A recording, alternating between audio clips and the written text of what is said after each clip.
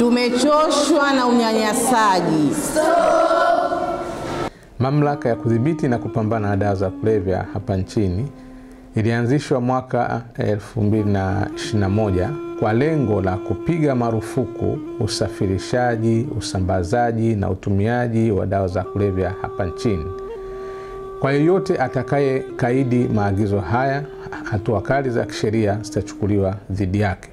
Ewe mwananchi, piga stop dawa za kulevya hapa nchini.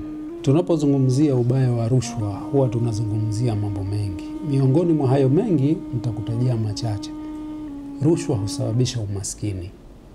Rushwa huviza maendeleo ya nchi, lakini pia baya zaidi, rushwa huhatarisha usalama wa nchi. Ewe mwananchi mwenzangu, usikubali kutoa wala kupokea rushwa.